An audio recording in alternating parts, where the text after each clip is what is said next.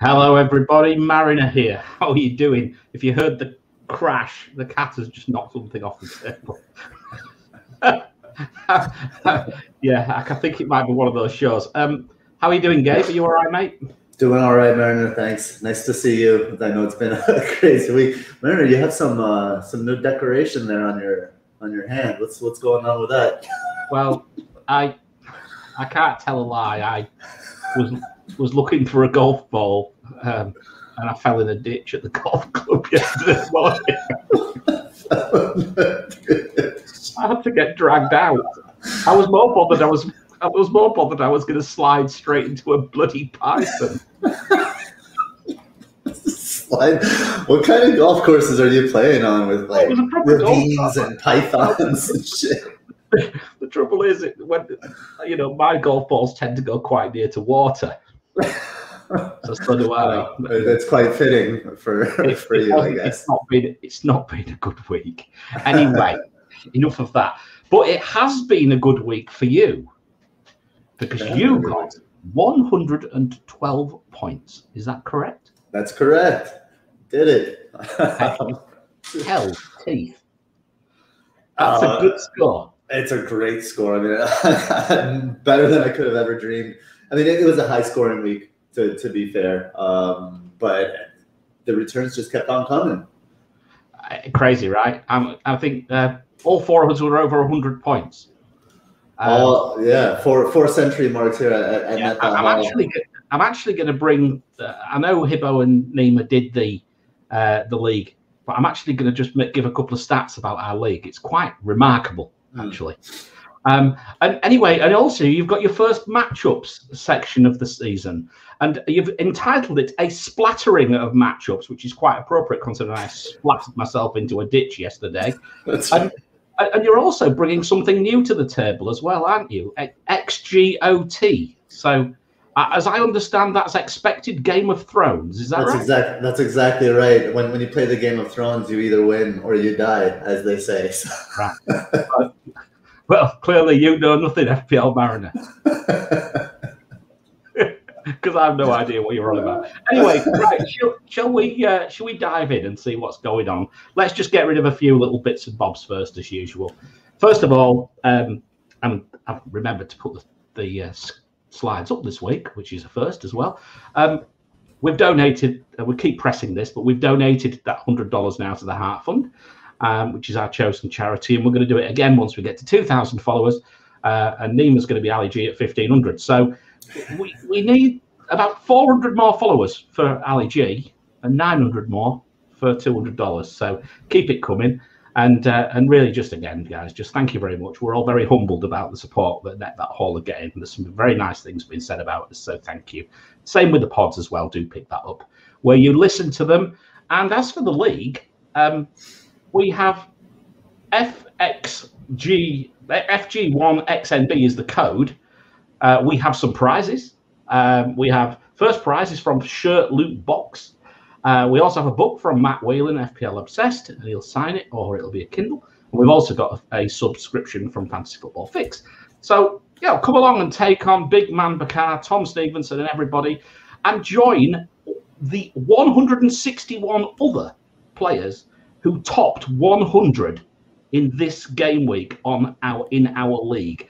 And 161st, I was just looking for the gap, and I love this team name, Crystal Phallus by by Lindsay Oliver was the was the team was the team. Wow, that's great. That's a great name. What a fantastic name. Clearly, it's banned. Um, the game week. change name next week, Lindsay. I bet. Um, the game week average was 69 points across the competition, right? Yeah, 69. Yeah. Do you know how many members of our league, and there's 400 and something in it? Do you know how many members got under 69? Have a guess. A guess. This is one reason why I never gave you the slides. On, out of, so out of 400? Less than 69 i'm going to say i mean at least what 250 got less than 69 15 what that, that's ridiculous. I, I, think we have some very loyal followers because I think there's a lot of people. maybe they've been following us. God help us when we have a bad week game. But um, but yeah, three point eight percent of our league was under the the FPL average. Well done, boys. You hauled. And, and, and, and to that, to that 3.8%, um, thanks for being in the league. You're being kicked out today. You've been well, voted off the island. I, I, posted something to Tom as a, you know, must must keep up with Tom, must keep up with Tom, must keep up with Tom. Uh, that's that's the mantra. I think he also got 112. Tom. Ah. Stevenson. So yeah, there we go.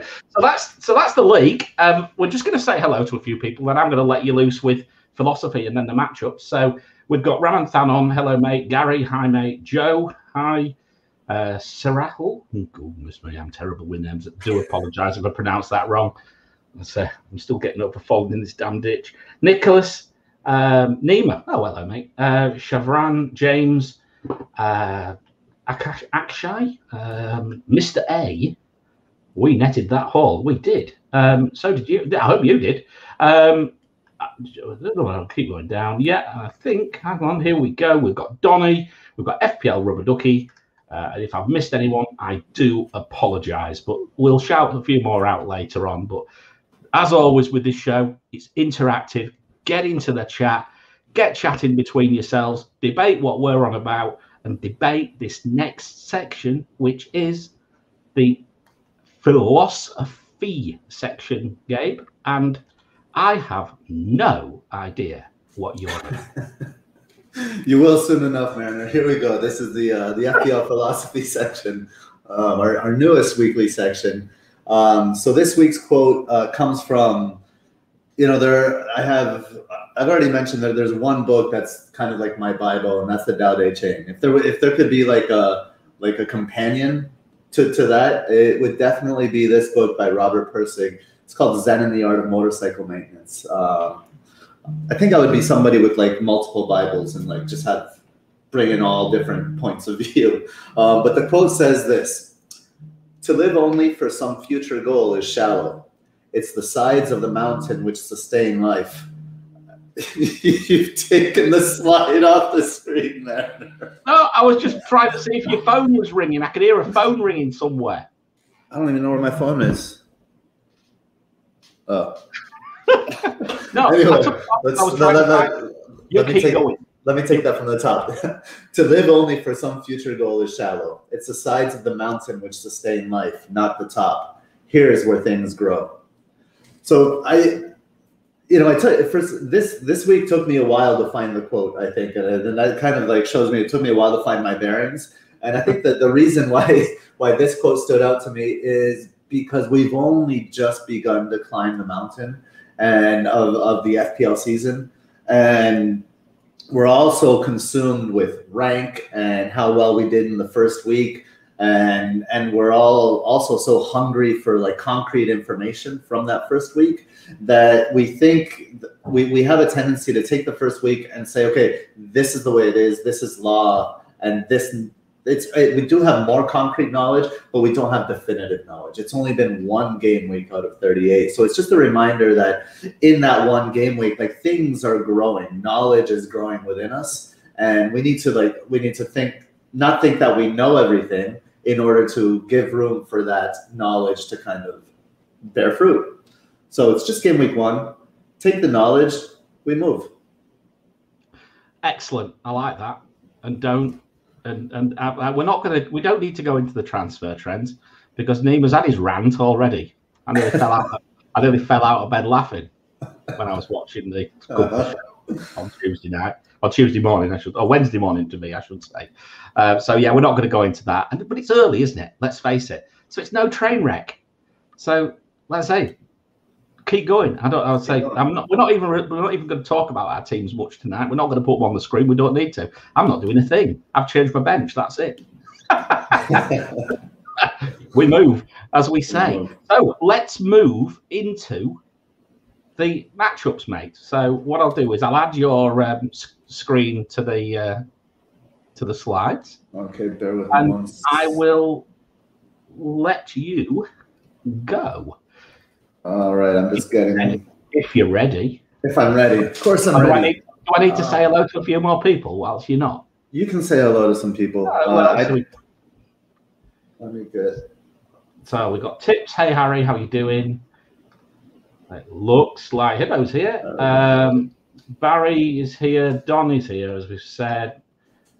Neiman nearly passed out. Check out 57 minutes till 1 hour 10 of Tuesday's Compass Show if you want Nima's miss bad Nima's rant. Yeah, that's fair enough. I think the ranter is in the room or the ranter is in the crowd, according to according to Donny. Are you ready yet? Ready. Right, okay, over to you, my friend. Okay, I'll, uh, so put that um, on for you as well so you can see. Right on. Okay, so uh, this week's matchups was, I, yeah, and I called it a, a splattering, right? A, a splattering of game week one impressions, and this it kind of builds on that the philosophy of the week. What we've what we've just witnessed in game week one is very much a splattering of impressions, and I want to kind of um, um, you know underscore underscore that point um, because once does not a pattern make. I guess I'll throw another a bonus quote out there as well. Um, so, so I just, I just kind of, it was a, for me, it was an, an a bit of, it was an org- organic process, kind of writing matchups. I didn't know which direction I was going to go in. I started writing about some things, and then I changed and I wrote about something else. I had this whole piece written up about Arsenal against Brentford, um, but to be perfectly honest, it's kind of boring. So I just, I just kept moving. Um, and and I got a request from. Um, one of one of our one of our uh, listeners at actor underscore Abdul, um, who asked me about Lucas Moura.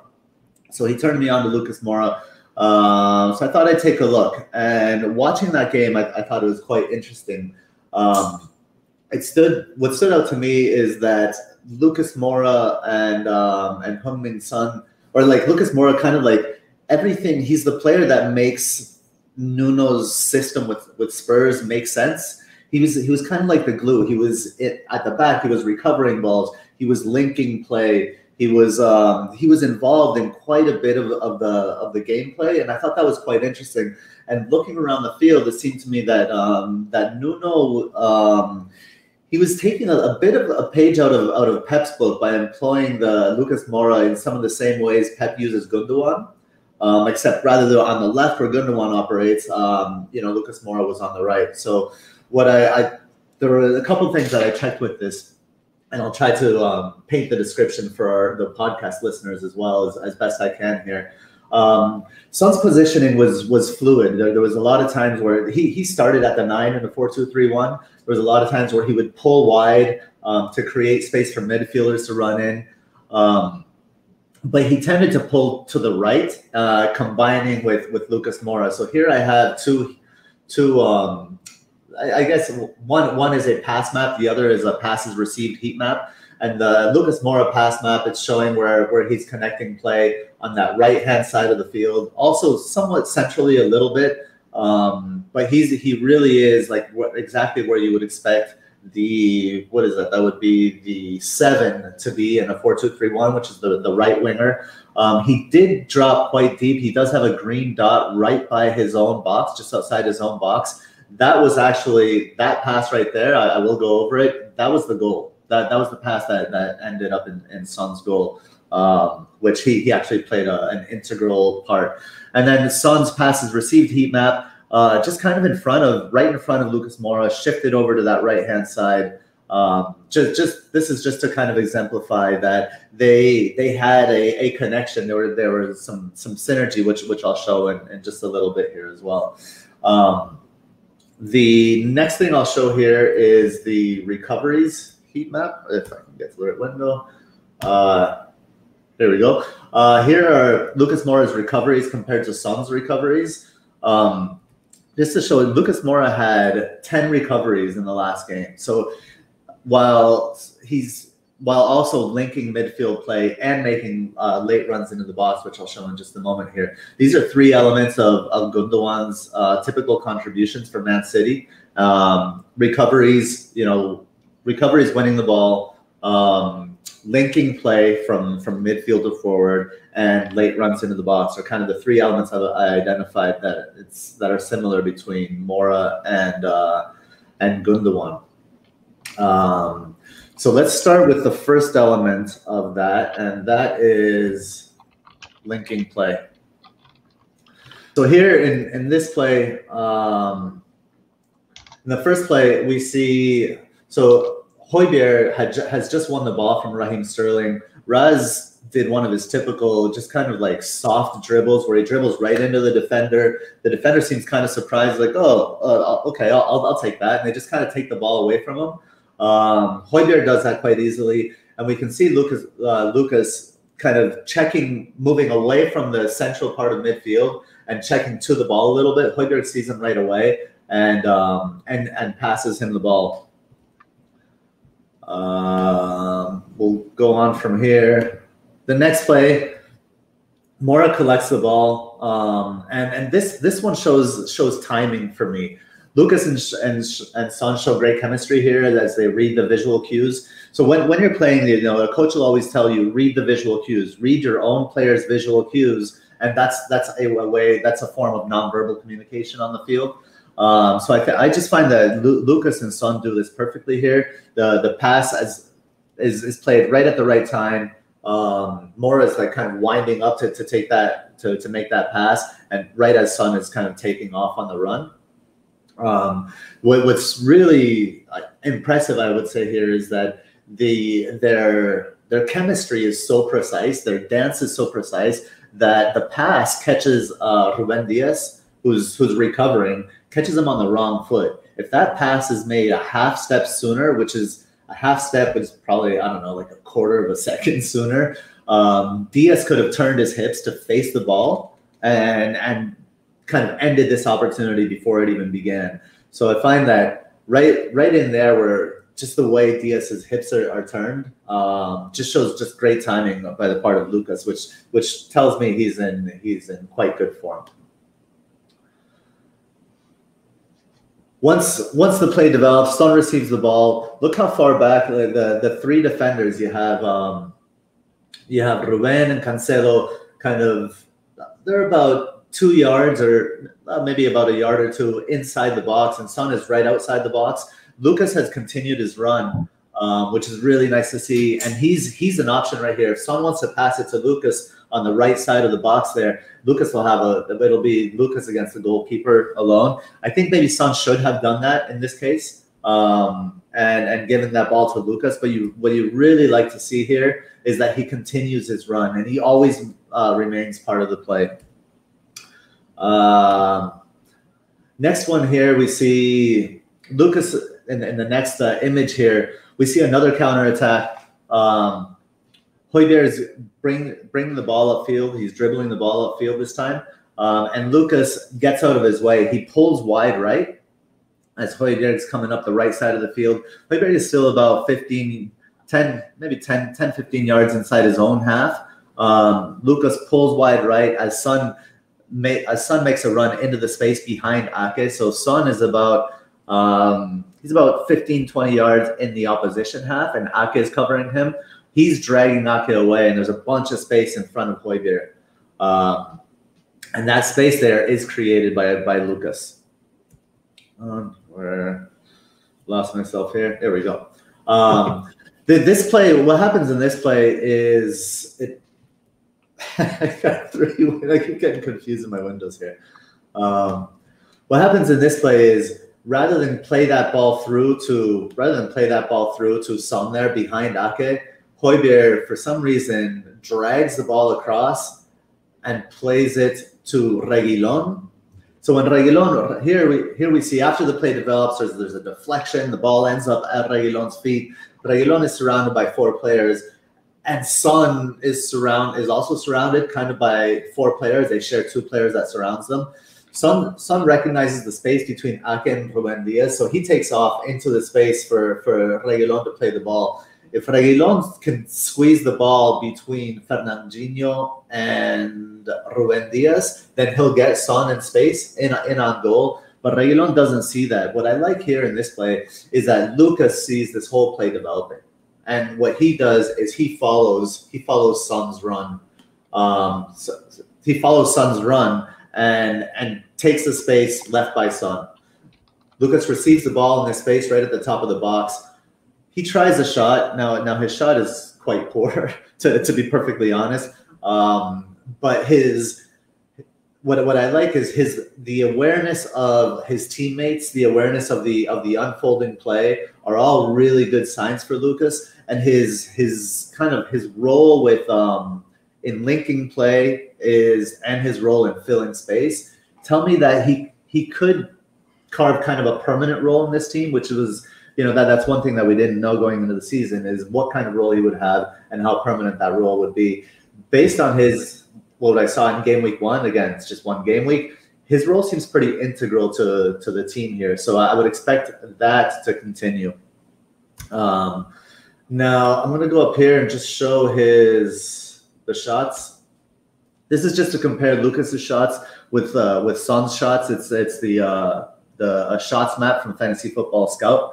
Um, Son had five shots in the game, four of them outside of the box, one inside the box. Lucas had three shots in the game, one of them outside the box, which you just saw, and two of them inside the box. So he actually had more shots in the box than Son did, which kind of speaks to the the late runs move going into the box. Um, and against you know weaker opposition, I would expect those numbers to increase for Lucas, and he could prove to be a fantasy asset at some point. Still very much a wait and see for now, um, because one game uh, against City, uh, we, we, just we just need to see more. Here's another thing that I wanted to show you guys. Um, this is the this is a radar map from understat.com and i just i just wanted to bring this up because it shows the synergy between lucas and son how lucas um, you look at his key passes per 90, three key passes. His XG, XG build up per 90 is 0.2. Um, his XA is 0.11, which isn't isn't so high, but I, I Lucas could end up assisting the assister. That XA is a little bit concerning. Uh, it depends how deep he's playing and what the game situations are are like in each game. But notice how those stats really complement Son's stats. X, his, X, his XG per 90 is 0.27. He took five shots in the game. So Son is becoming more of the um, the kind of the goal scorer, and Lucas is uh, is the creator and behind them. What are, what are your thoughts about uh, about Lucas and, and Son and that relationship there, Mary? Well, before we move on to mean, To be honest, I didn't watch the game. it was on in the middle of the night, so yeah. I'm probably not the best person to ask. But look, I mean, um, there's a few comments in the in the chat. One of which I'm not sure you'll you'll appreciate too much because um, you know it's if Kane is back, is this redundant? Um, it's an interesting point. I, I look if if there's another comment is if if Lucas six point five, you know, if he is what we know, watch him for a little bit longer perhaps, but he could be super value, right? He, I, I think he could, he could present incredible value, or or maybe not. He could, like I said, he could assist the assister, but I think it's definitely one to to watch. If if Kane is back, you know, you, you have to think about what it's. It, I think it's a really good question, right? What what happens to the team if Kane is back? Well, Son goes back out on the left, right? Lucas can still play the same role, can't he? With interesting. I mean, if if um, I, I, I don't I, I, think that it's, it's possible that Lucas plays the same role if if yeah. Kane is back, and and I think Son would still get involved more in the attack. It would be a lopsided attack. That's how I would approach it, but definitely something you have to watch out for that dynamic for sure. Yeah, I mean, there's uh, you, you know, is Kane going to play for for for Spurs again from uh, Hibbo? You know, he's you know, and, and uh, what's Ramanthan is saying. Uh, Kane not back for Wolves as per Nuno, isn't it? At least he wouldn't start. Uh, you know, James C's firmly on the team. Lucas. Team Lucas. Yeah, Team Lucas. Um, yeah, I mean, look, he, he sounds an interesting option. I, am all for trying to find these cheap players. and, and, you know, at the end of the day, I test, uh, you know, for once in my life, for once in my FPL life, I used the eye test and it paid off for me because I bought Menor. So why not? Why not? First yeah. success for me for the season, and it wasn't through stats; it was through the eye test. Victory for the eye test. Victory for the eye test over the numbers. oh, great! Um, yeah, fabulous. So, um, you, are you moving on to the what's the, what's this next section? Then you've got have you got? Uh, so, so the next section is Adam Armstrong. Oh right. Oh, I actually, you know, you know what I forgot to do? I forgot to show you guys the um, the the flick. You know why? Because I, I forgot to put it in my document here. But just just really quickly, I I, cause I just love this. This this was on the goal. So this, this was a this was a ball that was headed out. Um, I believe Dier won this header. Lucas comes to the ball for for those that, in the viewing. He's got Fernandinho behind him. He's got um, baby Jack Grealish in front of him, and and he does this flick, turns turns the other way just to add some like Ronaldinho class here. As as uh, who is that? Is that Bergwijn? I think that's Bergwijn making the run. But this flick leads to the counter attack that leads to Son's goal. So look look how close he is to his own box. Come flicks that ball, and that turns into a goal. He's not going to get any credit. He's not going to get any XA for that but he he gets points in my book for for that play. I was really impressed with with with what Lucas did um, in this match. All right. Excellent. So uh, Excellent. Uh, Armstrong, you want to have a quick look at Armstrong? Yep. I'm just going to leave that there while I go into some just some some stats for Armstrong, but I'll, I'll leave the image there for for his really just lovely lovely goal. Um, here we go. So Adam Armstrong, I, I have to say, like I'm I, I I don't I know nothing about Adam Armstrong. Never watched him in the championship. Highly touted when when he was signed by by Southampton. There was a the FPL community. There was, you know there was a buzz around him, and I. I, I wasn't interested. I just wasn't paying attention because it was so far off my radar. So this is so I decided to kind of like look into that. Um, and th- these are some some of his stats from the championship last season. He played he played a little over 3,700 minutes. He had 4.83 shots per 90, 2.17 uh, shots on target per 90. That's a shot accuracy of 45%. He had 28 goals with an XG of 27.76. So he's he cost six million in FPL. Um, and if we're taking this should be um, if we're taking like two thirds of his stats or, or half his stats, depending on on you know how how you rate the championship and how much more difficult you think the Premier League is. I, th- I think his his numbers could still be pretty impressive. Um, to add to add to these sets, I just wanted to bring up his his xG on target, his xGOT. So, uh, and and I'll get to some more xG on target uh, in the next section here. But I was exploring some of the highest xG on target players of the week, and I saw um, Armstrong. He, he was sitting there at fourth best with 1.03 xG on target. Um, when I took a closer look, I noticed that his XG against Everton was only 0.5. Um, and he had the most uh, added XG to a shot when on target. And so this is this is why. When um, when Che Adams kind of uh, plucks that ball from Keane and plays it into to uh, to AA here, we can see AA go, he's up against Pickford. It's a 1v1, obviously a high XG uh, opportunity here. But rather than it's it's all about the finish here. If he if this is just a normal finish into into you know a part of the net, we can see the we can see in, in, this image Pickford is is this is so this image for the for the podcast listeners from behind the goal. Pickford comes out. You can see how he's spread quite wide. He's covering the near post really well. Um, so uh, Armstrong decides to go far post with this shot. And I'll go to the to the next image here. When he goes far post, he doesn't just go far post. I circled in green just how far he goes, and it's way, way up in the corner. I think in my article I wrote this is um this is where where uh, where people hide their stash. That's where that's where I'm to call these areas. And when you place a shot on target way up in that corner, the XG on target goes way up because this shot is almost unstoppable. So that's why uh, that's why Armstrong's XG on target goes up to 1.03 from a from 0.05 uh, XG. And I was wondering, and then coincident, and then I was wondering, well, I, have never seen Armstrong play, so I don't know if this is a if this was luck or if this is a, a habit for him. And coincidentally, I was listening to the uh, the football tactics podcast from the Athletic, and they were saying that um, Armstrong was the only major goal scorer in the championship last season.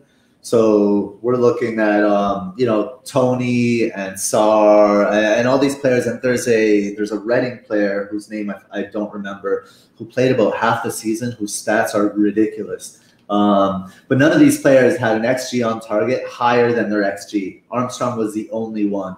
So apparently he he consistently uh, adds xG to to his shots. Um, and I thought so. He, I think Armstrong could be a really shrewd pick against teams that give up xG to, to teams when shots are on target. So if we're looking at last season stats, these were um, Newcastle gave up 4.63 uh, xG when shots, or added 4.63 xG when the shot was on target. West Ham added 6.68. Burnley added 6.26. Palace added 6.9. Arsenal added 7.04, and Leeds added the most with 7.51.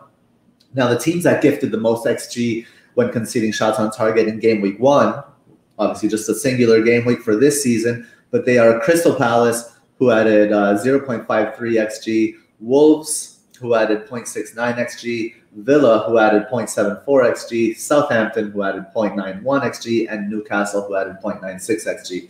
Um, but this is a small sample size and doesn't tell us much without looking at each goal individually. I'm not going to do that here. I mean, I, am thinking, for example, Villa added point. 0.74x you went on target. Well, Sarr took that shot that was deflected, that was unstoppable because it was deflected. So that added a bunch of XG. You really have to take these these um, these numbers a bit with a grain of salt when they're when they're, it's such a small sample size. Um, but I, I, kind of like um, you know Adam Armstrong for this week. Um, I United, let's see, United conceded 0.6 xg to Leeds but their xG on target conceded was 0.1. So they they added, you know, uh, we all saw the Ayling's wonder strike that added 0.4 xG to the shot.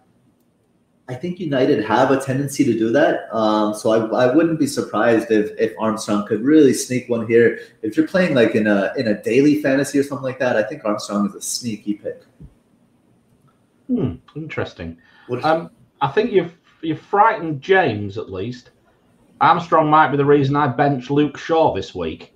Damn, that's a bold call. Luke Luke Shaw could get an attacking return. That, that's, so like, that's what I was going to say. Yeah. Uh, I, I, mean, for the viewers, of, if you're catching us for the first time, one of the things we do is trap of the week, and Manchester United's defence did come up in discussion, didn't it? Yeah for this reason, actually. For this reason. Mm-hmm. Um, well, I, you know, this full, this reason, and, and, and Southampton's home. They're their home yes. opener. You know. Exactly. Yeah, an interesting one. Let's see how that one plays out. Yeah. Um, okay. Um, but no, I, I mean six million could be an absolute steal, right? I mean, he shoots. He shoots on site. Apparently, he's two footed. Uh, two. He, he plays with both feet.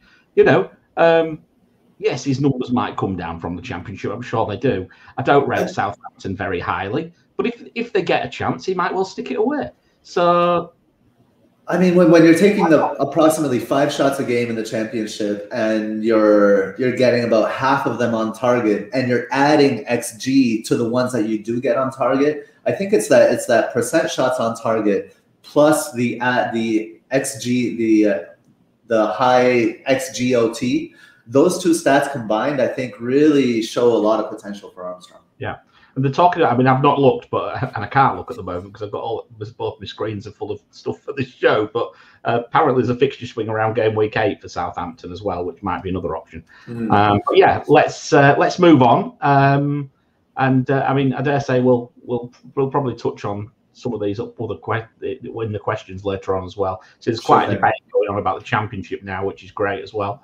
So um, okay, keep going, man. All right, so now we're heading to this is the X, XGOT matchup. So the expected Game of Thrones matchup for for those fans. Um, you, you either win or you die. That's that's the motto for Game of Thrones, Mariner. Um, but yeah, so expected um, goals on target. The top five players for expected goals on target in Game Week One were number one Antonio, one point five six then Wilson with 1.06, then Calvert Lewin with 1.05, and fourth is Armstrong with 1.03. So I just wanted to like, I'm really interested in expected goals on target because the ball has to be on target to go in unless you're unless it's going to be an own goal, right? So I want I want to dive more this this season into into creating on opportunities that that lead to um, shots on target and looking more for players that get those shots on target. So uh, looking for Antonio and his matchup in this game week. Antonio's up against a seemingly very tough matchup against the Leicester side. So Leicester conceded only a 0.2 expected goals on target conceded in game week one. We can thank Adama Traore's poor finishing for that, though. Um, I don't think that will be sustainable through the season. And Leicester may not be as stout as, as we think. Um, they still, uh, you know, they conceded 1.49 xG to Wolves. So to get a better finisher in there, and I think there's potential there. Uh, number two, Wilson. Wilson faces a reeling Villa side coming off a loss to newly promoted Watford, of course. Um, but from an expected goals on target perspective, uh, you know, I mentioned the the deflection on Sarr's goal. I think that that number is inflated. So it seems like a good matchup for Wilson, but we all know Emi Martinez, and Emi Martinez sucks XG out of shots. So that you know that could come back to to bite somebody that's betting too much on Wilson this week, um, or target may just kind of fall apart again, um, and that defense might fall apart. We we don't know yet. One week, one game week, I don't think tells us enough on that front. DCL, and I know we'll talk about more uh, more about DCL later, uh, but he confronts a lead side who added, oh, who only added 0.13 xG to shots that were on target. Um, Leeds is at home, which they'll, you know they're much better at home. They'll have Phillips back as well. They're much better with Phillips there plugging that midfield, um, and so DCL. Uh, it's there's there's a lot of uncertainty in in this matchup. I find um, because of the um, kind of the what is it the the multiple personality nature of Leeds defense when they're home and when they're away, and when they're with Kalvin Phillips or, or without. And then lastly, uh, Armstrong has a challenging matchup against United, but they did concede an expected goals on target of one compared to their expected goals conceded of points of 0.6, like I mentioned earlier. So I think that there could be potential for a very clinical AA. Um, so that's the expected um, expected goals on target matchup. Okay. Um, are you saving the other bits for in the in the other? Is there? The only thing I have left is the Little Prince. Yeah, we'll save that for the because uh, we know where that's going to pop out, right? All right. Yeah. Okay. Cool. Um, right, Gabe. Thank you very much, mate. It's uh, really good. And I tell you what, you've had some very nice comments along the lines of this is amazing analysis, fair play from FPL Rubber Ducky. Uh, and whilst you're at it, you know, I'm getting comments like from James C. Great analysis. Not sure if the slide should be moved here. I was too busy watching you to turn the slide over. Uh, what, what, would we do without James? Huh? Oh, I was too busy admiring that that finish, that top bins finish from from Armstrong. Quite frankly, I was nice. just, I was just enjoying it. That was my that was that was my uh, excuse anyway. Right, mate. Thank you. Uh, we'll come back to you. Obviously, we'll come back to you with the other stuff as well. Um, let me just add my screen back in. So, right now, let's get over to the engine room, um, and this is where we start looking into the fixtures uh, difficulty ratings and things like that. Looking at this week. Also, we're going to look at our long range weather forecast for FPL going out to game week six as well. This now so we're starting we're in the season, so let's see where we're we're looking in the longer range. Um, obviously, we're going to use Gabe's uh, insight and his lens, uh, and hopefully, we're going to net some more holes and predict some clean sheets. Um, we're going to try and identify trap of the week and a hauler. Um, but look, let's first of all see how we did last week, and it's this is not like last year, guys. Don't panic. We're not going to spend half an hour on this. We're going to spend about two minutes. So, right, let's have a look. So, we predicted uh, Liverpool to get two and a half goals. Yes, they did. Okay. Okay. Salah got his return as usual at the start. We predicted Chelsea two and a half goals. Yes, they did. Um, very, very obvious matchup. And we predicted Manchester United against Leeds to get two and a half goals or more. And they did. Um, these were all supported by quite strong um, predictions by DraftHound as well, and I will be looking more and more at these type of odds this season because I think they're a good way of sense checking what we what we actually come out with. Um, okay, so that's that one. let's keep going. Now we went to clean sheets. We predicted Crystal Palace and uh, Chelsea to get Crystal Palace a clean sheet against Crystal Palace. Get my teeth out. Yes, absolutely, they did. Uh, it was predicted to be 61% clean sheet. Yeah, fairly obvious. Okay. Then we had a look at Wolves against Leicester, and I remember saying I thought they might cancel each other, other out. It took a Vardy wonder strike to prevent me from being right. Actually, mm-hmm. I was hmm. quite quite interested in that one. Um, yeah. Although, so although uh, were Leicester a little unfortunate not, not to score more?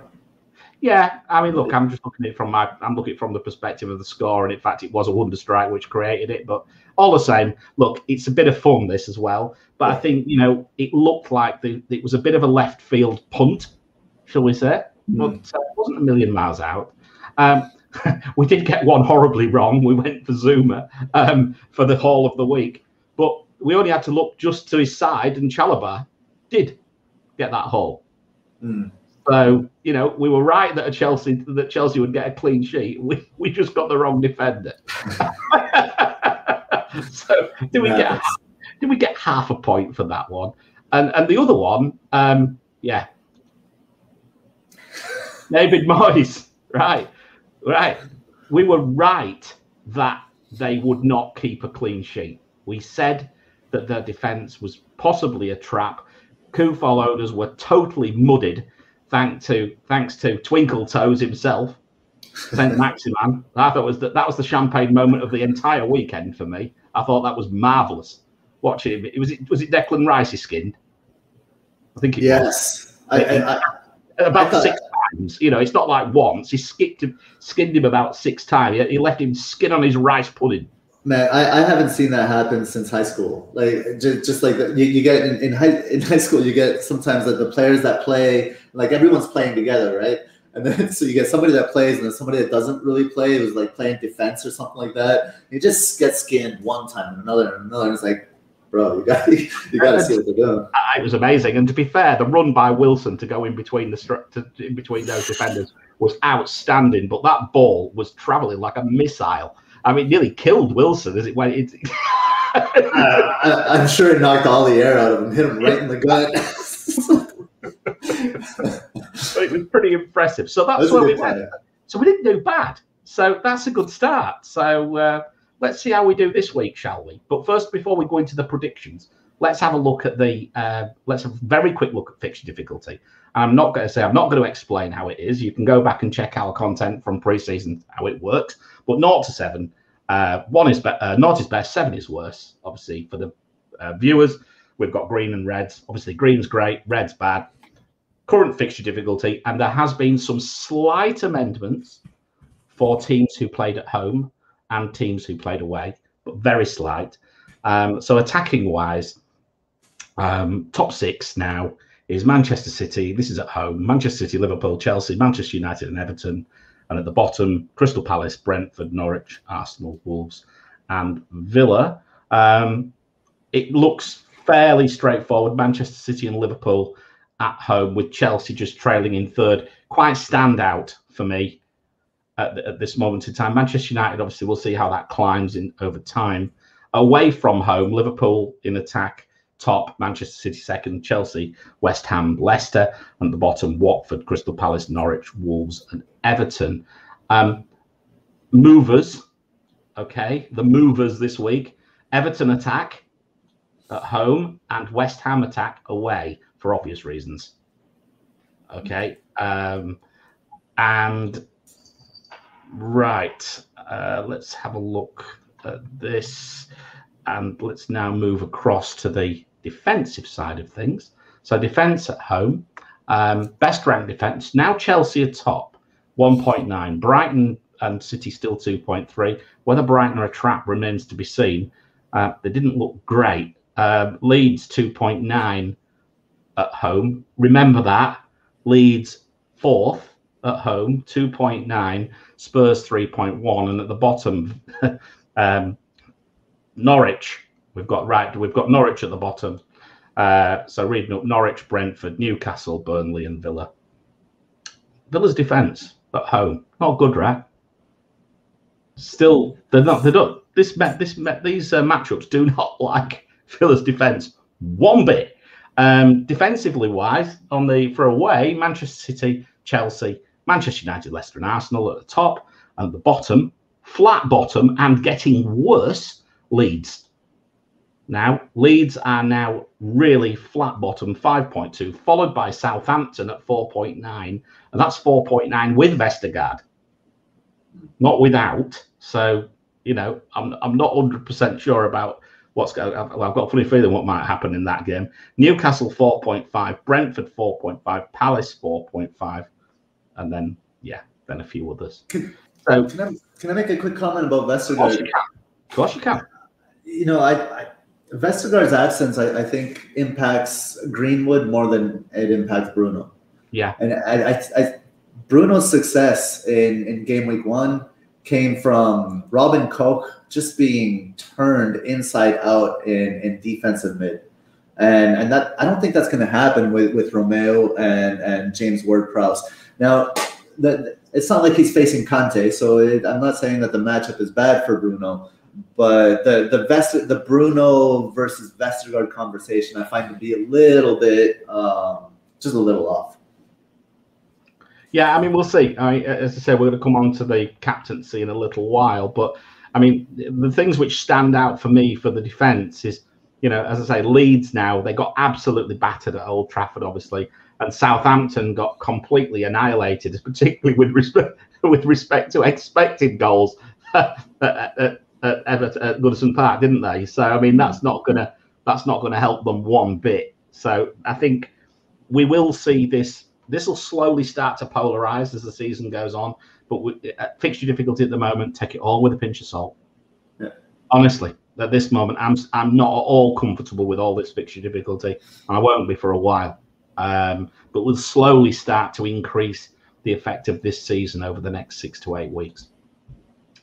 Um, just looking a little bit further ahead, um, the long range forecast for attack and defense now. So let's look at attack first. So the long range, the teams who are in the best position with the best matchups in between game week two and six are Manchester City and Liverpool at 2.1. That's average. So that's that's average matchups. So that is they're strong. Okay. Manchester United not too bad at 1.2, Leeds at 1 and Chelsea at 0.9. So it suggests that we're going to start to see some Leeds uh, output from the strikers, I would say. Um, all these are pretty good because you know you're looking at some particularly good matchups, and of course there might be one or two which aren't. Um, defensively, Brighton. Um, so let me just move that across. But defensively, Brighton um, are the best at 1.2, but not as big matchups. And again, I think this continues to show the trend that at the moment there's probably more feeling that there's going to be goals than clean sheets, and that's something that I've been watching quite closely. You know, Manchester City 0.9. I think this is false.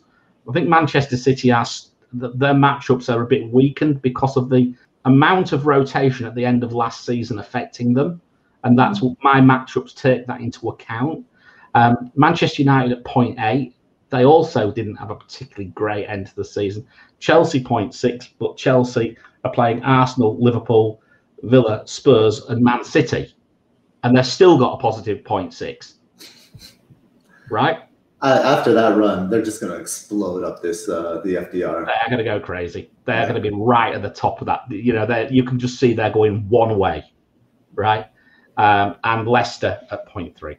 Okay, now looking at this week, then, now we're getting very close to getting into our predictions for this week. So, the matchups for this week who have the best matchups for this week? Well, Manchester City against Norwich, surprise, surprise, is the best matchup plus three for attack. Um, Liverpool plus two, Leicester 1.3. Then we've got Manchester United, Chelsea, and Leeds and Villa all around the one mark. Notice Manchester United. It's not a fan. It, it's not a great matchup, actually. Hmm. We remember this, and, and fans are going to be in the ground. So there's the first hint that we're either going to see this fixture difficulty going to get it right, or it could be horribly wrong. Hmm. And I'm not quite sure which way it's going to go. I'll let you guys have a go at that in the comments. Um, defensively, Brighton 2.3. Very positive matchup. Um, I, I, think it was Hibbo and Nima who said something like, there was a question, are you going to play, you know, do I play Dunk? And I think the answer was, if you own Dunk, you play him this week. You don't you don't own a Brighton defender to not play them against Watford. Mm-hmm. Right? You don't home do it.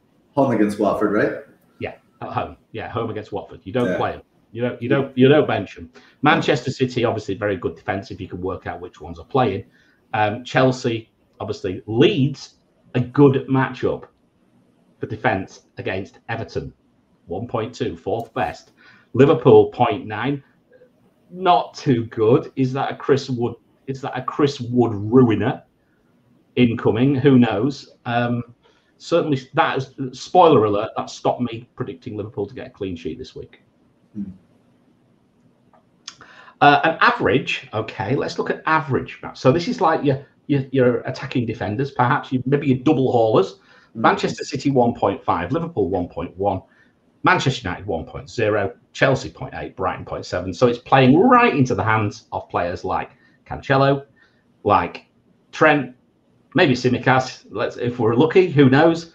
Uh, Luke Shaw, you know, and possibly another player who I will keep for you to bring up in a few minutes. so, right. Before we go into the the matchups for this week, then I'm just going to uh, have it. We're just going to take a very very quick break, uh, and then we will, as always. I know you can't wait for this moment. I'm going to just say, what are you waiting for? Are you craving more FPL content? Then look no further than allaboutfpl.com. Head over there for weekly articles from some of the top content creators on the planet. So, what are you waiting for? Head over to allaboutfpl.com, the website for all your FPL needs. Ah, it just gives me enough time to grab a drink, actually, and throw the cat off the table. what are you waiting uh, that's, for? That's probably that's probably how you hurt your wrist. Yeah, well, yeah, probably. so, so, let's get into it then. And this is this is no rocket science. I don't think you too. I don't think there's much surprise about the first game that we have predicted is going to be two and a half goals or more, and that is Manchester City against Norwich. And look, it, it's absolutely crazy. They're they're just far too good. Um, they were second for chances created from the centre, four point seven uh, last season. Third for chances from the right, 3.7 per, per 90. And fourth for chances created from the left at 3.6. Um, yeah, uh, it, it's just about who you're going to pick. Uh, I think that's all you can say. A plus three fixture difficulty. Draft Hound has them at 59% for two and a half goals or more. That's pretty good. I don't own a single one of them. I I've had a massive fight with uh, a certain company today about a, sofa not being delivered. And the fact is, my sofa's not big enough to hide behind. I am scared to death about this match. Um, it's a I good mean, thing you have, you, have, you have boxes everywhere. You can just hide in the yeah, I'm going to have to just hide behind the boxes, and I, I it's, it's, absolutely madness. I mean, what I did do, though, is I did pull out some data from last week's game. And all I've done, this is one game week. So, um, obviously, City against Spurs, and Liverpool and Norwich against Liverpool, right? So I just grabbed that data and I just threw it into a matchup for for how the for the zonals. And Norwich created a great load of chances down Liverpool's uh, down uh, down their right, or down sorry down their left because it's Manchester City's right. So that that's you know that's crazy numbers that, but I mean look, it's too early to say, but there may be just a slight chance for Norwich to do something down there on the basis of that. But this looks to me like we're, we're looking at, uh, the, yeah, we're, we're looking at Sterling and Mahrez and uh, and probably I don't know Cancelos of this world. Is KDB going to play? I I think he is. I, I, I think he's yeah. I, I think he'll be he'll be back, and, and any of these assets are, are going to be good. And yeah. I'm like you. I don't I don't have any of them. So no, but it looks like Manchester City's attacks uh, chances are going to come from the flanks. That's yeah. what it suggests. Although, okay. although when, when, comparing just the one game, you know, when you're looking at a Liverpool matchup. So yeah, no, but is that? But, but, it, but it should be similar. Even that, you go back and you drag the old data out, it's similar. Mm, okay. It is similar. It is similar. Right. Okay. Moving on. Uh, let's look at the next one. Uh, and the next one is Liverpool against Burnley. Again, no real surprise, Gabe. Um, matchup of plus two. Um, the reason Burnley's defensive ratings are so high. I mean, this if Liverpool's rankings are really good, but Burnley's are pretty good away. Why? Because they were pretty good in 2019 20, and some of my data's pulled from there. Mm. So they're just going to get worse as they go unless they hold on to, to what they're doing. Um, you know, uh, they were fourth best away from home for chances. Uh, 3.1. It's crazy. Um, draft count have them at 49% though for two and a half goals or more. That's Liverpool. So, you know, the matchups for Liverpool through 2021 against Burnley suggests that they're going to be strong through the middle. Look, 4.7. Liverpool look like chances coming through the middle and fairly equally from the left or right. Um, most of Liverpool's chance creation against Norwich went down the right. Their right versus the centre. So I think it was six versus three versus two and a half. Right, centre, left. Um, I'm going to lead you in here. I noticed that Burnley are pretty bad for headed chances conceded. This matched up with the chances that Liverpool created down their right suggests something. Yes. I'm going to say one more thing. I expect Anfield to be absolutely rocking. And yep. I wouldn't be at all surprised if a certain man doesn't go off. But I'm going to put, I'm going to let you uh, say your piece. Okay, Here, here's my piece. um, so Burnley last game week against against Brighton, who are no you know uh, offensive powerhouse or anything like that, they um, they had the third most attempts conceded from set pieces, six. They had the joint most headed shots conceded, five, and those two stats lead me to a set pieces and and headed shots lead me to a certain player who is coming back from injury having had four ACL surgeries myself, I can't help but root for this guy. Uh, Virgil van Dijk is my little prince pick of the week. Um, I, he he looks confident. He looks he looks happy to be out there. Um, the matchups from set pieces, from the head, headed shots perspective, is really good. And then the the one thing I'll add is um, Burnley also conceded the seventh most crosses from the left side last last game week. Um, these stats, these poor defensive stats, go back to last season as well. They were not a good team defensively last season. Uh, this narrative that they are, you know, that they're this, they're going to sit in this deep block and be very tough to break down. That hasn't been true for over a year now. Uh, and so I, I like Trent to get an assist in this game from from Liverpool's right hand side, so from Burnley's left hand side. And and I like Van Dijk to score a, a set piece, a headed goal, a corner, or something like that um, to, to get a double return in this game, set a uh, goal and a clean sheet. So he's my um, little prince pick. Marvelous. So there we go. I'm not sure. I'm not sure many people own him actually. It's an interesting one. So we might be able to relax on that one, and I just hope for a Trent Trent assist perhaps. Uh, I think most of them. I think most of us own him. And that's why you know Trent couldn't be the little prince. He's too obvious. It has to be a little nah, bit under the radar you're right. It's boring. We we don't we don't we don't get anything for for being boring, do we? We, no. we need to well, try and put something a bit interesting from time to time. So great. Okay, so Little Prince's VVD, and I agree. I like that one a lot. Um, oh, and just, just oh, shout out, oh. shout out, just a quick shout out to uh, to last week's Little Prince, Soucek. Oh yes, uh, he, he got. Yes, he got one, didn't he? Yeah, he did. He did get one. Got, yeah, I mean, it, he, he got the rebound off of uh, Antonio's missed penalty. well, he did, uh, but then he could, to be quite honest, he should have. He, he, if he was only a a toenail away from another one as well, wasn't he? And there was another another one in the first half that, that he almost got as well. So yeah, it was. a it was a good shout. It was a good shout. Well done. Yeah, you, you need to remind me to put them up. Right, clean sheets. Oh dear, this is boring, isn't it? Um, uh, Manchester City, okay, plus two against Norwich. Um, yeah, draft down have them at 60% for a clean sheet. There's not a lot of data, of course, but they were top Manchester City for, chan- uh, for chances conceded from the left, two from the centre, 1.8, and from the right, 1.5 last season, even with all that rotation towards the end. Um, as I say, it it could be interesting. I did mention about the fact that Norwich Norwich's right did have actually have that uh, poss- possible positive matchup there. Um, I don't know. I'm not sure about that, but I just think who who are City going to play at left back this uh, left side of defence this week? Zinchenko. Yeah, yeah, it won't be it won't be Mendy, will it? So that that probably puts that one right yeah, I think so.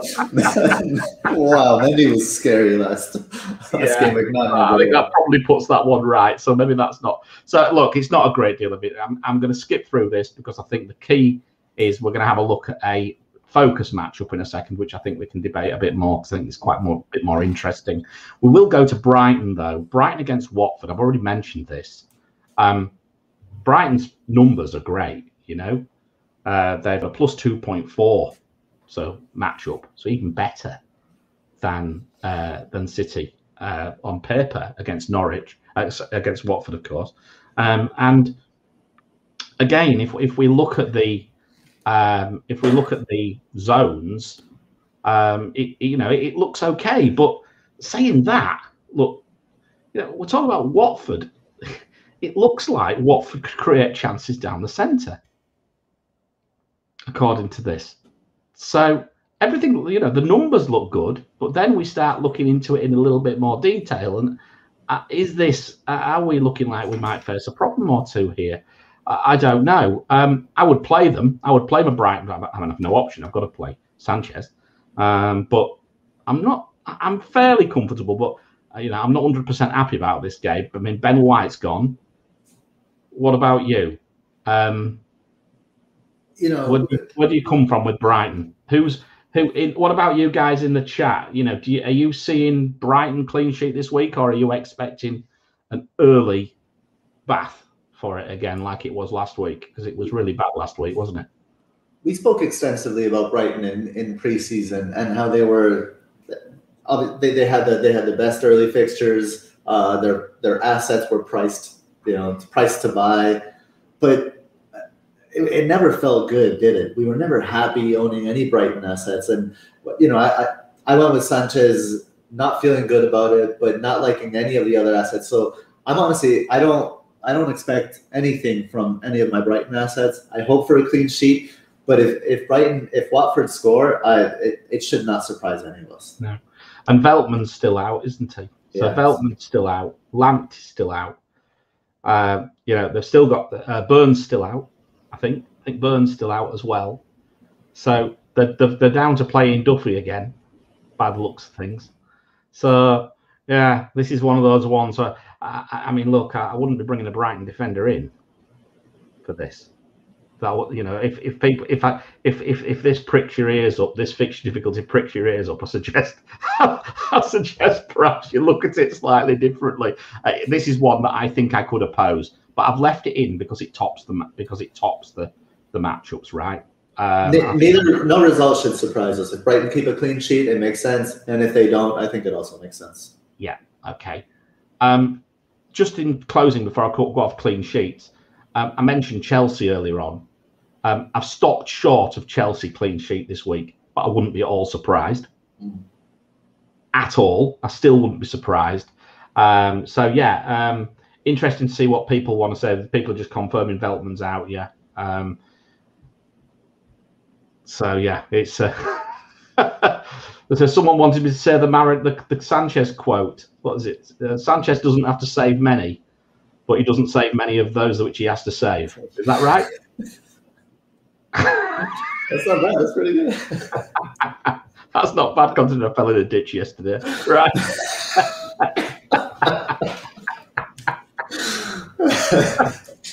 Let's have a quick look at this uh, in focus game. And we've picked Leeds against Everton, guys, because I actually think this is the game I want to watch this week. You know, even with Richarlison playing, because you know me, and I don't get on with him. You don't get on him. No, not at all. but that said, I'm really quite interested in this game. Let's run through the the matchups and and, and everything. So, Leeds uh, at home attack 2.7 ranked sixth. Uh, Everton defence away ranked 3.7 at 16th. That's not good. Leeds defence at home 2.9 ranked fourth in the fixture difficulty, and Everton attack away 4.1, and that's ranked 16th. So that starts to tell us that, you know, probably explains why uh, a certain Calvert Lewin doesn't feature anywhere near the top of the match, uh, the top of the captaincy metric. That's spoiling a little bit of a spoiler for later. But look, I'm just going to set the scene here. Draft Hound, 44% Leeds win, 31% Everton win, 23% Leeds two and a half goals or more, 17% Everton two and a half goals or more, uh, 29% Leeds clean sheet, 22% Everton clean sheet. A bit meh. Not much there, really. Not for me, anyway. Um, look at these key areas. Okay. Um, Leeds attacking against Everton, they will create chances and they look to be spread all over uh, left, centre, and right, all about the same 3.3 per on average per 90 uh, in the centre and the right, and 3.4 on the left. And for the people who are watching, um, um, I've actually put the calculations down at the bottom of the screen as well, which you'll be able to to uh, to understand. Hopefully, it's fairly straightforward. Um, Everton, um, they will uh, look to be creating, according to these numbers and matchups, 3.2 chances down the left 3.7 through the middle, okay, which looks good. Okay, that to me looks that's interesting at that level, and 2.6 on the right. So yeah, so it looks like Everton the chances Everton get will be down the centre or possibly coming down the left. But this is where it it becomes a bit interesting, Gabe, because we were looking into this because you said to me, didn't you? You said, I'm not 100% sure about Calvert Lewin this week. Uh, you got me thinking about it. We said we were we were hunting around, weren't we, for a trap of the week? Yeah. And we we sort of like we're umming and ahhing a little bit, and we started looking at it, and I pulled a very interesting stat. And if we look at Leeds chances, they concede they conceded 106 chances down the centre last season away from home. That's 5.6 a game down the centre. Mm. And of course, this key area is conceded doesn't take into account home or away. It just gobbles the whole lot up. So Leeds at home, on the other hand, only conceded 68 chances. That's 3.6 per, per 90. Everton, on the on the other hand, home and away attacking creations down the centre, um, 51 away, 2.6, 54 at home, 2.8. Doesn't make much difference. Mm. So this has an effect, and this means that the trap of the week is Calvert Lewin. Mm-hmm. And why? Because if we then take these new numbers and we put them in to the matchup, hopefully, is it going to appear? Come on. You bugger. It's not. There we go. I was about to swear then. That was that was going to be much worse. I think Bugger was very polite. Look what it does to the matchups with respect to the chances. Mm. 2.6 down the left, 3.1 and 2.3. That is nothing like a good matchup now. That's, you know, it's not good at all. Add in Leeds ground full. Calvin Phillips back. I, I, I think this could be the this could be the this could be the trap for us this week. What do you think? I'm 100% on board with this trap. Um, I, I think,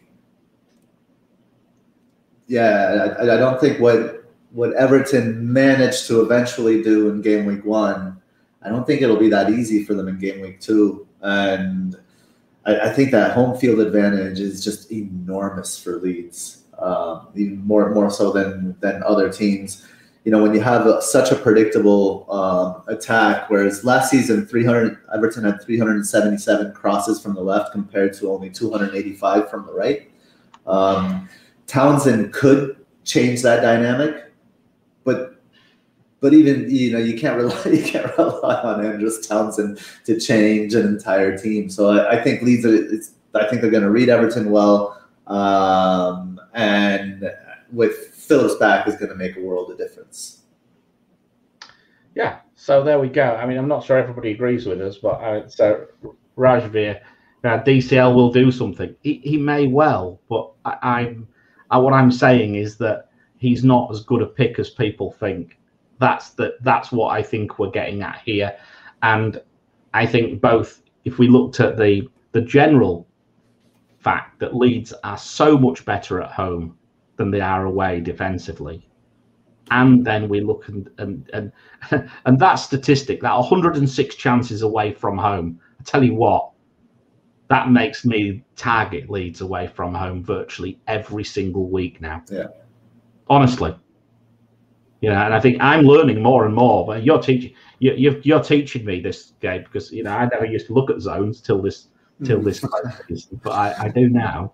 Wait, wait till we get. Hopefully, someday we can get somebody that'll provide us with XG data from specific areas of the field. Then, then we'll get some really interesting. Well, stuff. then somebody, if anybody's got that, please get in touch with us at Net That Haul because we will gladly take it off you. I mean, hell, Hibbo might even buy you a beer. Uh, or Nima might, or Nima might buy you a beer and then buy you a beer, and then sit on your lap and he's speaking to you. Who knows? Yeah. Um, Nima, Nima Chu, I think, is what they're calling I, I, mean, I can't buy anybody beers at the moment because I'm not in London to be able to buy people beers. But yeah, I will do one day soon, hopefully. Right. Okay. So there we go. There's the trap. And the hauler of the week, I've gone with Cancelo. Now, God, I hope he plays because what happened last week with um, with Zouma.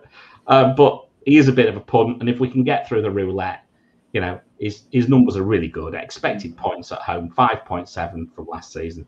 Um, 2.01 key passes, 0.42 big chances created, 0.26 XA, uh, 0.08 XG, not great. But, you know, and this is where, and again, I like to sense check what I do. And Fantasy Football Hub prediction tools has Cancelo at 74% for an anytime return this week. So, and he's above Trent Trent is 71. So that's interesting as well. So I'm going to go with Cancelo. They've got a good average matchup of 1.5. Uh, Manchester City down the right, 5.5 expected 5.5 chances uh, creation down there. Uh, if he's down the right, and if he's down the left, it's 4.5 because we don't know where he's going to play if he plays at all. But yeah. I just think we give it a go. Um, you're going to have to do this next week because I'm not here.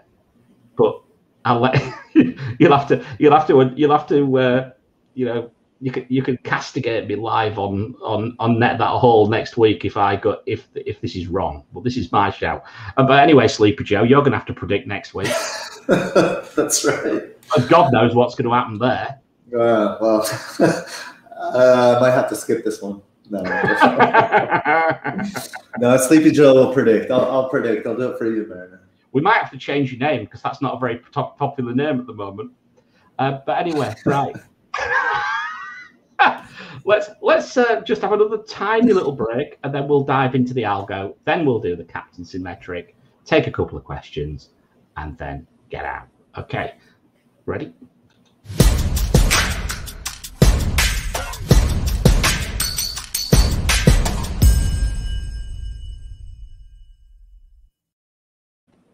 So, algorithm. Um, the rules are up on the screen. Uh, yeah, team value initially 100. It'll increase as team value increases. That's that's that's fabulous because the first thing I tried to do is plug this into that other team that I created, and I got priced out of the team I beat. so God knows what I'm going to do with it next week. I was, was smashing the computer this afternoon when I was trying to get it. I had to take a minus 20 to change the team as well. I re- and then I thought, Christ, have I changed my own? Have I changed my own team, or have I changed the algo? Thank Ooh, God, that's stressful. Yeah, that's that. It was. It was a bit worried. I'm, I'm not on a good day as it is.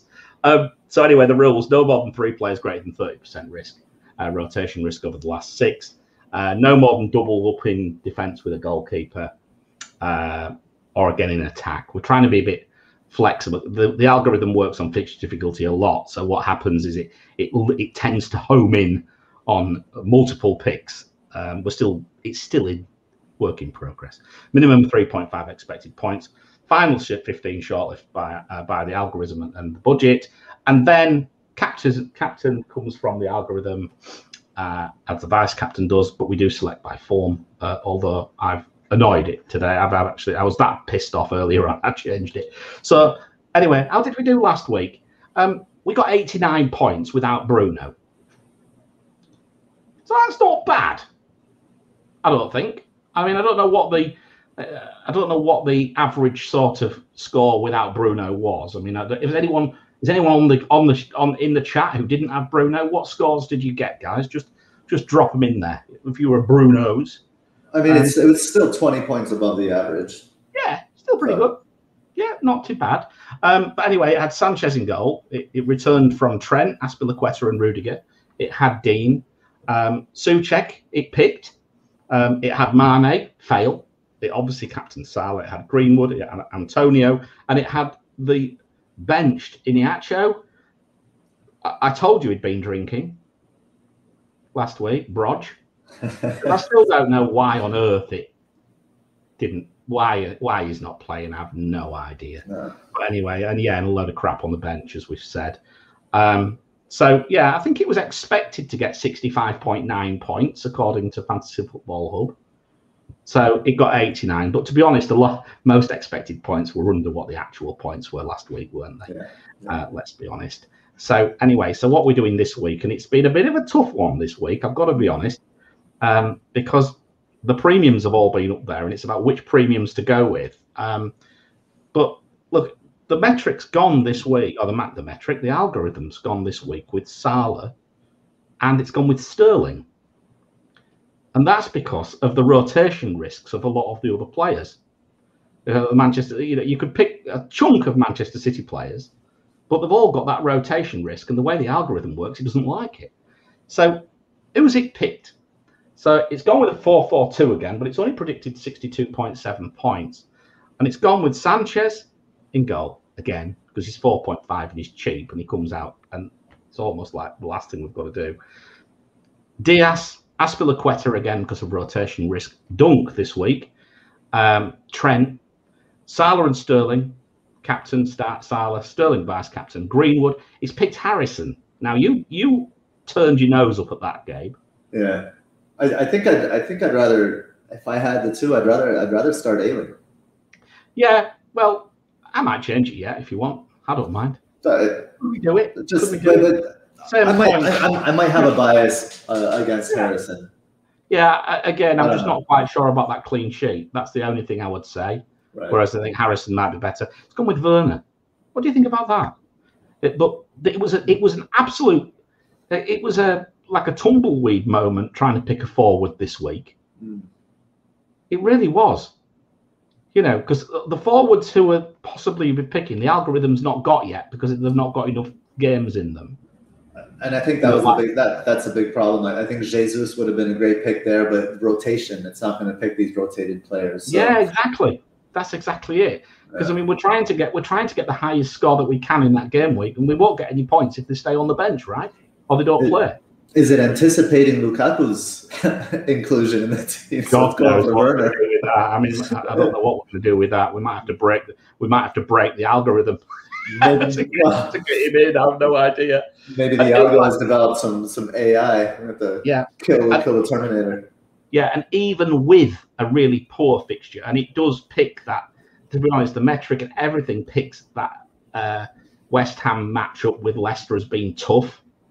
It's still, you know, we've still had to pick Antonio because of price and everything else. Is the only one sat there. Um, you know, it, it nearly picked Chris Wood over him. There we go. At, at Liverpool. they, they, anyway, they, can see chances. Liverpool's yeah, defense is still not. Yeah, he was very close to popping popping Antonio off the page actually. Mm. Um, yeah, so we're going to bench Ayling, we're going to bench Brownhill and Davis. Well, Davis yeah is injured anyway, but he's just four point five.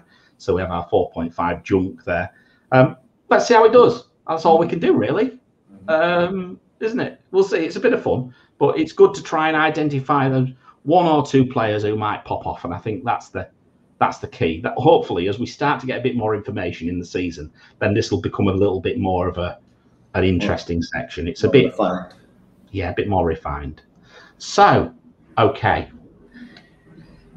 time to move across to captaincy. We're one hour twenty in. I think we're doing all right for time, so we can spend a bit of time on this. Um, how did we do last week? Well, those of you remember the metric captained uh, Salah last week, it was very boring, but you know what? Boring's pretty good because we're on the board with 34 points. So uh, with a game rank of this the Algo team game rank of four, no, that's mine. Is that mine? No, that's not mine. No, that's the other team. Official, official rank of 42,000. Maybe it is picking my team. No, it's picking my team, isn't it? Look, I'm going to change that. At, at, at this rate, the the metric will, will end up with no, 1,292. No, it's, it's wrong. I'll tell you what, that's looking at my team. I'm going to have to change that. It's been stupid. But it's the same pick. Yeah, but it's the same pick anyway. But there we go. 34 points. So very nice. Um, we'll see how that goes. We'll keep that going because um, Hibbo gave us a great idea to do this because what we want to do is try and track it officially rather than just um, yeah, just un- unofficially, so to so to speak, so to speak. Right, it's time to reveal the metric for this week, and this is going to be an interesting one, and I think there's going to be a hell of a lot of debate about this. So I'm really looking forward to it. Are we ready? It. Do it.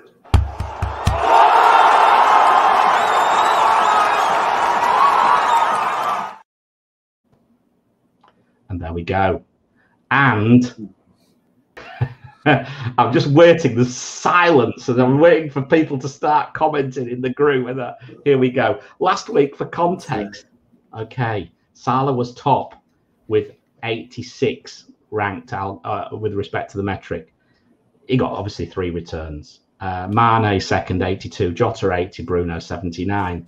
And he obviously got three returns from a rank of 79. And he was fourth in the metric. This week, you have to look a long way down for Bruno. Wow. A long way down. Right. This really confused me, but I'm going to bear with us, guys. I'm going to run through this. First of all, Salah, let's be honest, he tops the metric. He's fresh from a haul. The fixture difficulty is 115. It's not as good as last week, but combined with his form, it still holds off the Manchester City assets, who have better fixture difficulty, but they have the rotation. So that's why Salah jumps above them. As for Bruno, it's a Bruno from the metric this week. And hear me out. He was outstanding last week. I was delighted to own him. Um, but I'm not going to sugarcoat it since game week 25, he was 18th with respect to returns for midfield, an XG of 0.31. He was 10th for expected goal involvement at 34%, and he wasn't even in the top 20 for shots in the box for big chances or for XA. Mm-hmm. That's it. So there we go. Now, let's look at it the other side. Southampton are poor, right? Vestergaard is gone. There's changes in defence afoot, but it's enough for the metric to switch it switch off from him. Okay. Now, This is where it becomes interesting because I started to go, Christ Almighty, what are we going to do here? Um, so I sense checked it. And I sense checked it with DraftHound. And sense checks the metric sense checks six out of the top seven expected goal scorers from DraftHound are in the metric at the top. Salah, 63. Jota, 52. He's further down. Jesus, 51. Sterling, 51. Mahrez, 48. Okay. If you take the top five of that metric, Salah, De Bruyne, Jesus, Sterling, Mahrez, okay, the average expected uh, so anytime uh, anytime goal scorer is 52% in DraftHound. The next five is 40%. The next five is 39%, and the bottom five is 35%. This metric is following without being influenced in any way by some bookies odds in general. And another another way to phrase that is some bookies odds are seem to be following your metric there. They may be following my metric. yes, I did think that. Um, but look, uh, it's. I think I'd really love to. I'm going to have to look through these comments and see what people read. But let's be honest here. KDB would be top of this metric if you hadn't have been rotated that length of time. So anyone who has KDB in your side and you think he's going to start, honestly, it's an excellent captaincy shout this week. Amazing captaincy shout, actually. Better than Salah in the, from the perspective of the metric, but the metric has killed him because of the rotation risk. I've left it on the screen. Normally I would hide it, but I'm showing it because I want you to be able to see what we've had to think about this week. But yeah, uh, Jesus, eight, Jesus 81. Okay. Sterling 80. Mahrez 80. Mane 79. There are some great captaincy options this week. What's your perspective, Gabe? Just while I have a look through the. If I mean, the first thing I'd say is if I had KDB, I'd probably captain him over Salah. Um, but but I you know obviously I, I don't and and Salah I, I I haven't gone away from Salah. Um, so I don't know this it seems to make sense to me anyway. I'm just looking at the elements. Um, Salah's haul percentage, I, I find it concerning. Yeah, well, he's only had one recently. He hasn't had. He, you know what happened at the end of last season? He didn't have any. Exactly. It goes um, back to twelve game weeks. Whereas KDB, when he's when he's when he's playing, he hauls. Yeah. You know, yeah. when he plays, he hauls. And uh, I mean, obviously, Bruno's only uh, Bruno's numbers with respect to returns and hauls are worse than Salah. Yeah. In the last 12. You know, he's only had six single returns and one double return in the last 12. So, look, I mean, is it recency bias? Is it just the fact that it's so obvious that this thing isn't picking it that Bruno's going to go crazy? You've already said you think Greenwood might be the person to go crazy this week. Um, someone, someone in the chat did mention that uh, Cavani's already he's training so that there, I, I, think there's at least they have concern about about Greenwood this week. So that that Greenwood could be could be Cavani. Uh, the the other thing I'll mention here is just look looking back at our trap. Look at all the red for Calvert Calvert Lewin, which makes sense for the trap of the week. And I, and I'll point your attention specifically to the FDR, which is not great because it's Leeds at home. Yeah, exactly. Yeah, it sums it up quite nicely, doesn't it? But look, I mean, guys, this is what it does. It got it, it got 80% right last year. We've not changed anything, and certainly the bit or the bits that we did, we've changed some tiny bits. But the bits that we did would have absolutely no impact on Bruno this week. I can guarantee you that. This is where he is on the basis of the way the fixture difficulty works, on the basis of the way the matchups are calculated, and the way the captaincy metric, which hit 80%, last week, last year, is calculating things. So, as I say, I was very concerned when I first saw this. It nearly kept me awake last night trying to figure out what to do with it. Um, but once you sense check it, I'm a lot happier with it. Mm-hmm. I'm not saying Bruno won't return. I mean, Bruno may well even haul. We do see hauls coming from further down the metric. But I think if you were, and but for me, I think the very, very obvious captain this week is Salah at home. and that's where I'm going.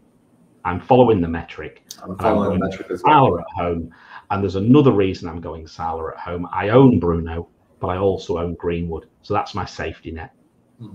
That's that's what I'm thinking. That's my safety net there, because I think if you know if if Bruno pops off and Salah perhaps doesn't, at least I might be able to soften the blow by perhaps getting something from Greenwood Mhm. um, as well. But uh, but we'll see. We'll see. Um, goal score. So what's goal scored percent in the last comp? That's that's the draft hound numbers. Rot- RR rotation risk. Okay. So just if people are just asking them, and I'm happy ple- people are uh, are asking as well. Okay. That's that. So let's see what happens. Let's see if this thing's right. It'd be lovely if it was. Um, and if it's not, uh, you can field all the slack, uh, flack next week because I'm not here. I'll, I'll, just spend the, the whole episode trashing stats and do a full eye test Yeah, do- episode that, next yeah. week. It's a no stat. This is this is a no stat podcast. Uh, No, No, stat zone. no stat zone next week. No Mariner. I'm moving house by the way. No. It's, it's a Um, mutiny. yeah, I'm moving house, so I've got to I've got to uh, sort things out. But but yeah, uh, let's quickly look at the cat pick. So last week, um, well, utter disgrace. Sat next to me at this very moment in time, fast asleep. But um, you know, he could easily have turned into a pair of slippers. Uh, eh, I mean, let's hope and see if he can do any better this week. But but look, we always put the poll out, and this week the the community poll's gone with Salah, sixty-one percent, Bruno twenty-eight percent, Mahrez twelve percent. Uh, we only gave three options because we were we were running around a bit this week. I'm afraid with various things, and uh, I have the uh, and uh, it's a shame you can't actually see the inner workings of um, of Streamyard, mate, because. Uh, the, the the clip I've now put it inside the clip, but it's not called the cat pick.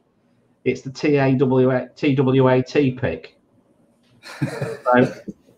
Because he bit me earlier, so I hate him. So anyway, here is here is the cat pick for this week, and it's between Salah and Bruno.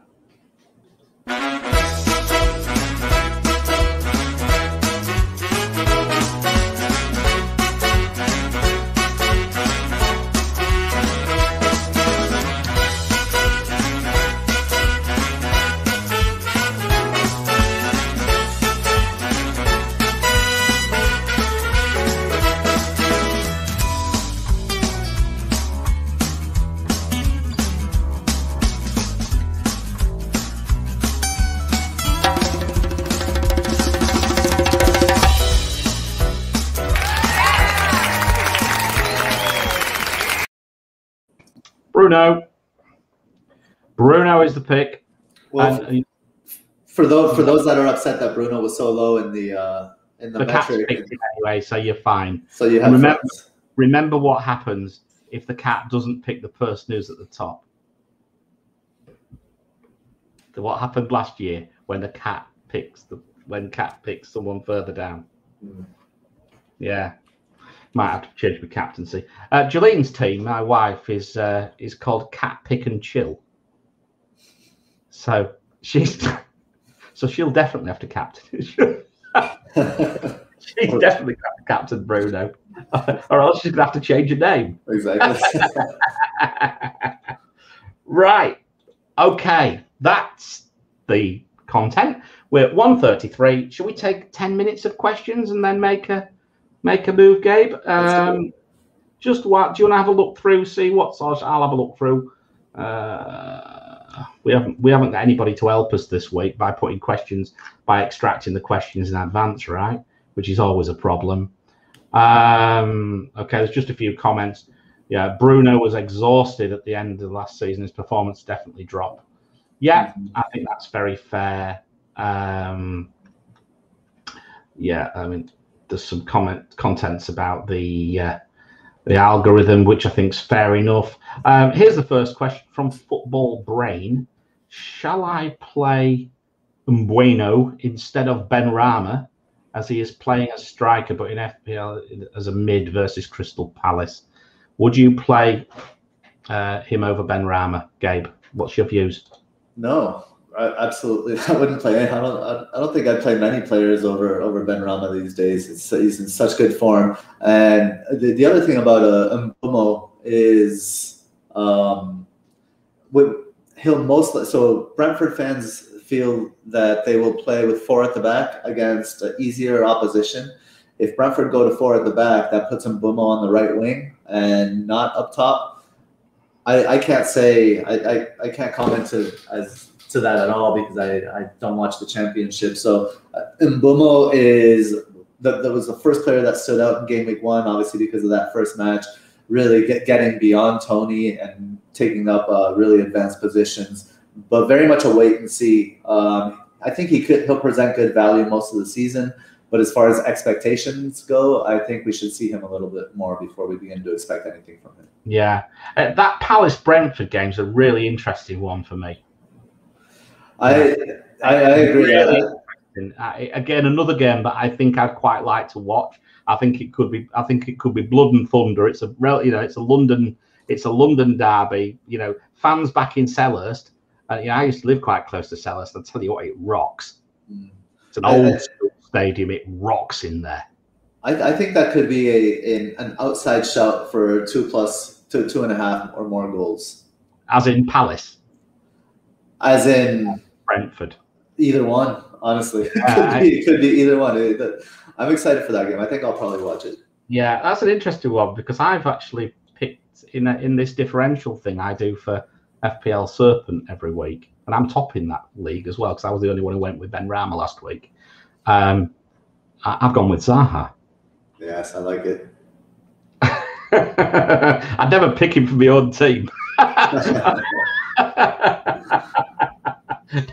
I'd never pick him in my own team, but you know what? If I don't have to worry about that, um, so hang on a second. Uh, we've got Masha here. It's not really a quick, just a yes or a no game. I've got Grealish and Barnes. Can I be optimistic of a return from them this week? sounds a bit depressed.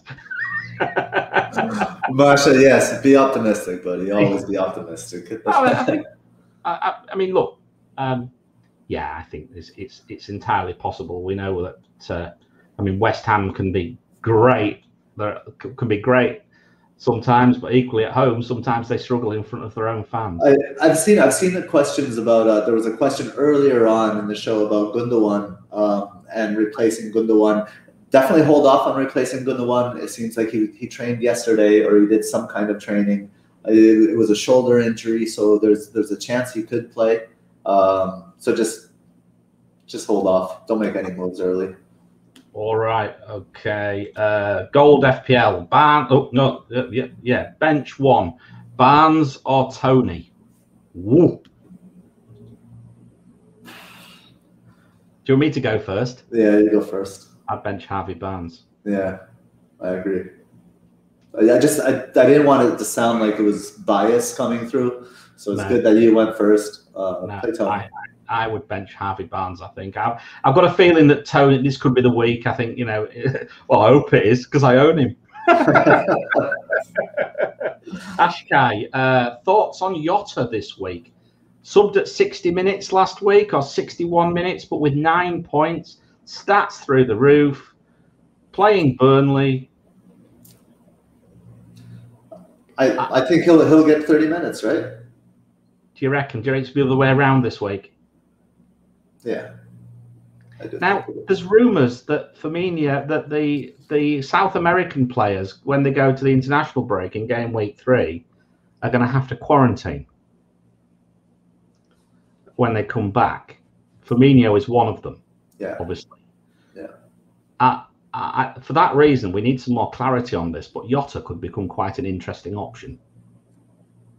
I mean, by that, I think you mean he could start two games in a row and then yes. be a rotation risk again. I know, but you know what I mean. But I certainly probably wouldn't. I'd, I'd be a bit more. I'd be perhaps more keen to keep hold of him yes. until we know what's what's happening. I'm not saying I'll potentially bring it's him. Tough, in. though. It's it's tough to, to hold him when Greenwood is doing so well. And Nima mentioned, you know, so someone said that Cavani was back in training, but Nima just mentioned in the chat that that Cavani didn't. They had a friendly, I think, yesterday or the day or a couple days ago, and yeah. Cavani didn't even feature in that friendly. He did not even to get like his legs ready or anything. So So Greenwood should be. It's, it's hard to if you have Jota and you don't think he's going to start this week. It's hard to not go to Greenwood No. or or even even a City player. Um, there's a question from FPL Rubber It's about the metric, actually. I'm surprised TAA doesn't appear on that list at all, especially with assist potential discussed earlier in the free kicks and clean sheets. Fair point, but I've not put any defenders in there yet. It's too early in the season. I we we will add players in from as we did last year. We started to add players in who were returning. Uh, examples, players like Raphinha, uh, Gundogan was brought in, even though he was very low priced, and did actually top the metric on occasions, uh, as did Raphinha.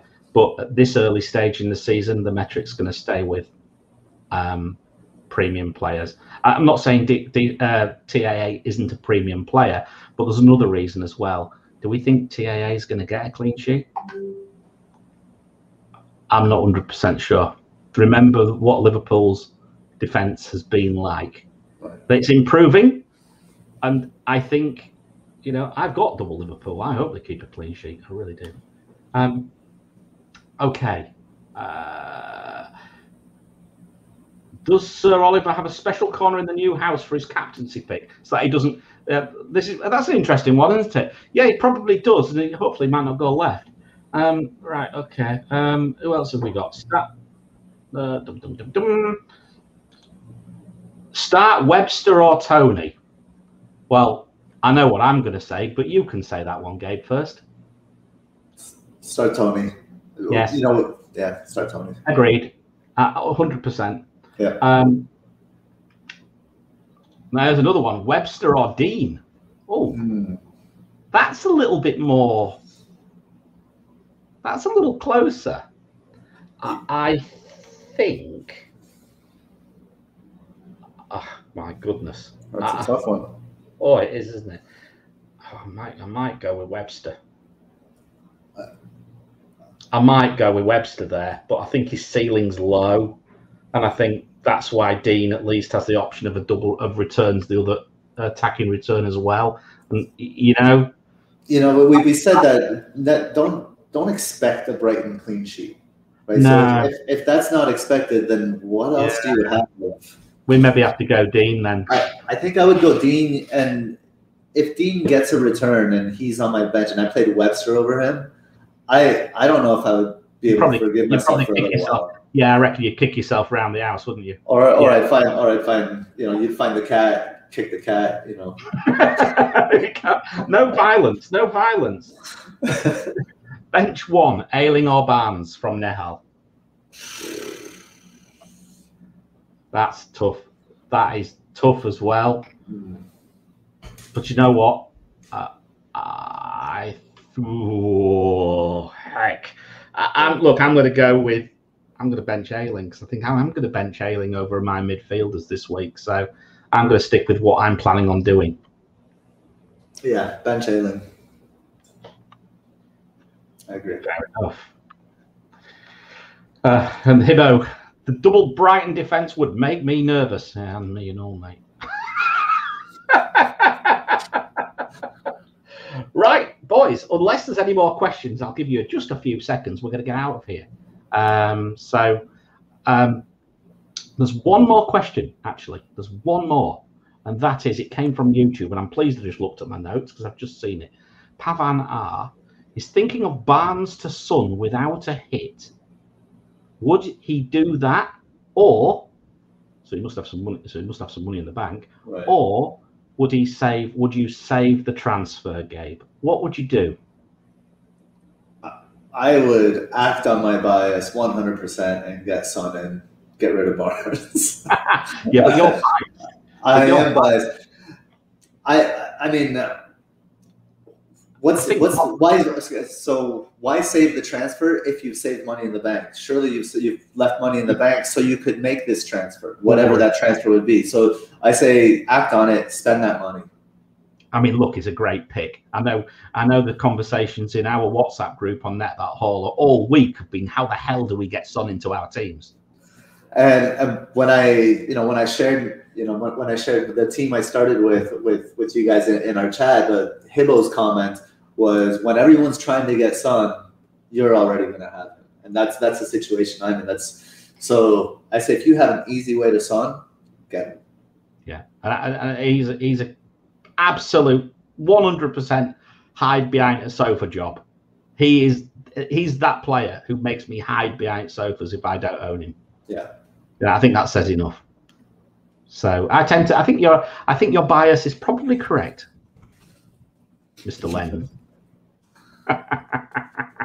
right, that's it. Let's get out of here. Um, what have we got coming up? Twitter Spaces, Saturday lunch, Asia time, uh, uh Saturday morning, India. Um, uh, Friday evening, West Coast U, US time. Yeah.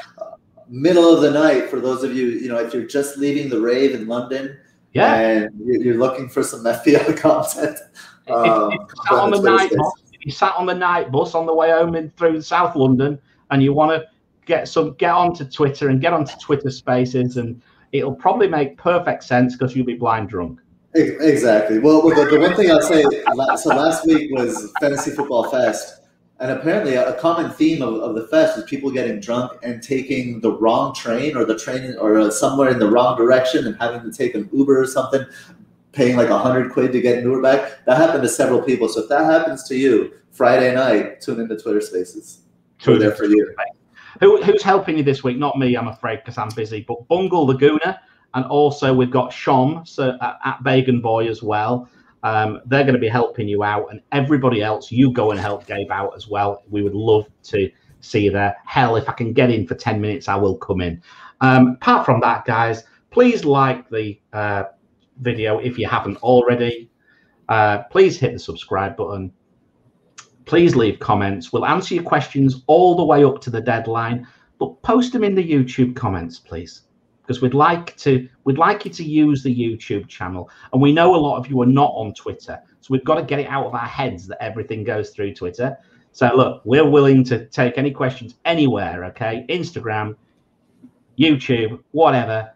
Get hold of us. We'll help you out. Apart from that, I would just wish you the best of luck for game week two. Uh, and of course, I want you to net that haul. All the best, guys. Take care. Bye bye. Peace out. Peace. Bye bye.